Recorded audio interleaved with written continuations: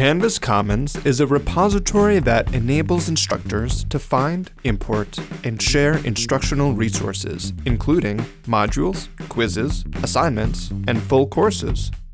It can be a useful tool for sharing best practices, exploring new ways to deliver course content, or helping you improve your course between semesters. To help you save time, we created a course template for spring 2020 and shared it through Canvas Commons. Please feel free to download or import it into your Canvas site and edit it at your convenience. Let's review that process. Step 1. Log into your Canvas page. Find Canvas Commons on the global navigation bar located on the left side of the screen. Step 2. Type U-M SSW online course template in the search field. To view details, click on the template title. Step 3. To import or download the template, click the Import Download button.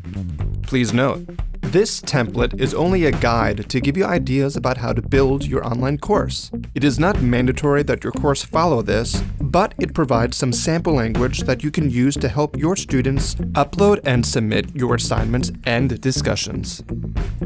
Next, search for the course into which you would like to import the resource, or select the course from the list. Then click the Import into Course button, and to download the file to your computer, click the Download button. While the resource is still being imported, you will see a status notification when you open your course.